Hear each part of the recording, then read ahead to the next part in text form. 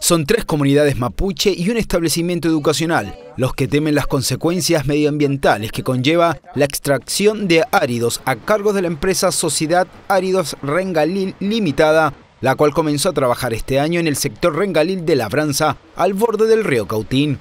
El problema es que las obras se realizan en un territorio indígena donde el dueño del mismo autorizó, sin realizar la consulta al resto de las comunidades, algo imprescindible en los pueblos originarios.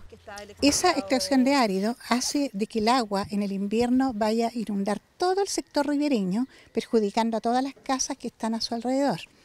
Además de eso, eh, está tapando un menoco que llaman los mapuches, que es un lugar que es una vertiente que va directamente hacia una laguna. Nosotros no estamos dispuestos a tolerar este tipo de trabajo, puesto que daña todo nuestro lugar realizando todo tipo de, excavaciones para poder extraer este tipo de material, eh, estando a menos de 200 metros de todas las casas. La verdad, la verdad que le, lo está haciendo daño eh, por, el terreno y no tenemos camino como para, para pasar a trabajar el campo. Justamente, ¿cómo les afecta a usted esta extracción de áridos en este sector? Sí, lo afecta mucho, el ruido sobre todo sobre todo el ruido lo afecta mucho porque yo vivo muy cerca este, del río Cautín.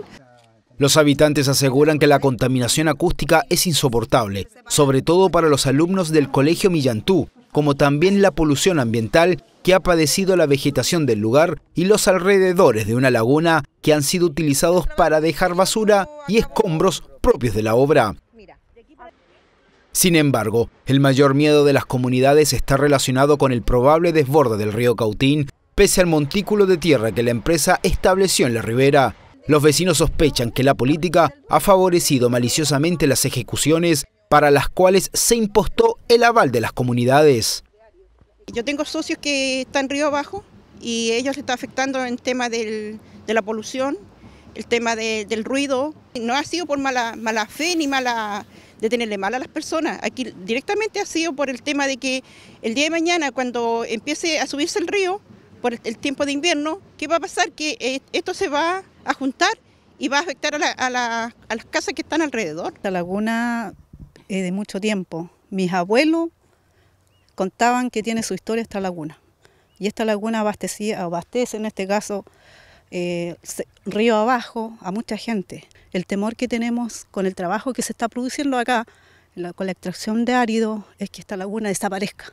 Y ojalá no sea así. Nosotros seríamos las comunidades de más abajo, seríamos las más afectadas, porque si se da cuenta el río se junta con la laguna, así como el río se va saliendo de su cauce, la gente va perdiendo los terrenos, porque si quedan al otro lado del río ya no hay nada más que hacer, porque yo hice las consultas, ¿qué se podía hacer en este caso? Y, me dijeron a mí que por causas naturales no se puede hacer nada. Seríamos prácticamente perderlo todo. Según documentos, Áridos Rengalil solo está facultada para extraer áridos, pero realiza otras funciones no autorizadas por la Municipalidad de Temuco. Por su parte, el lunes la Corte de Apelaciones falló a favor de las comunidades indígenas Ignacio Elgueta, José Cheuquian y Nahuelhuen, las cuales junto al Colegio Millantú establecieron un recurso de protección para paralizar las obras. La empresa en cuestión tiene ocho días para apelar la resolución.